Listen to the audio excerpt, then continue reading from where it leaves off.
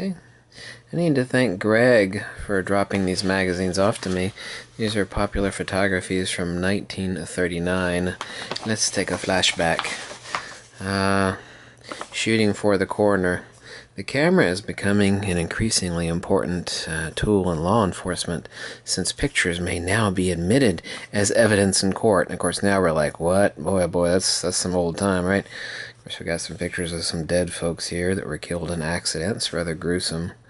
Uh, I mean, isn't that an amazing statement? Cameras are becoming an increasingly important tool in law enforcement They're even admitted to court as evidence.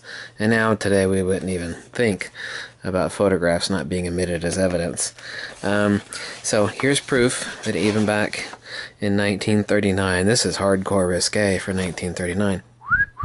Got nudies. Oh, yeah. Why would you buy a photography magazine back in the 30s? Got nudies. This is uh, Karl Freund, candid cinematographer. Some of his work. Let's take a look at another magazine. Popular photography from uh, 1939. Let's take a look.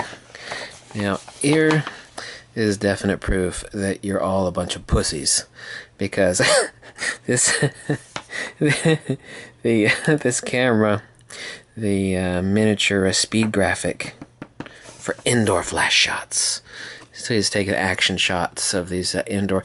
I don't know if you're familiar with the sport, but it is extremely high speed.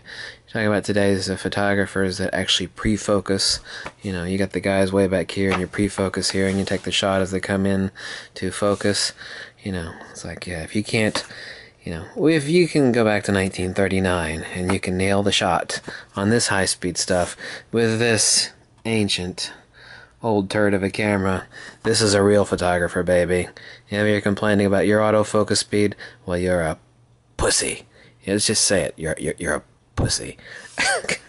let's let's be honest here. You know, these guys would be scoffing today at people complaining about autofocus acquisition on cameras. Like, I had to have a speed graphic and I had to nail these sort of action shots.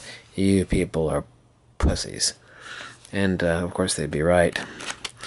Now this for 1939, this is a lovely, a lovely advertisement for the Rolleiflex. Rolleiflex for action shots, yes.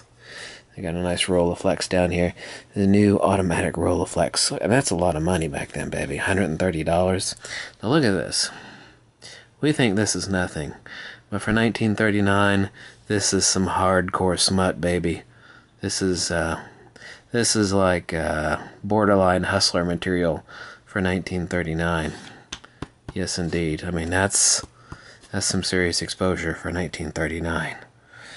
Burleigh Brooks Incorporated. Everyone knows that the Rollei camera is easy for anyone to get beautifully composed, critically sharp pictures, which is damn true, even today, actually.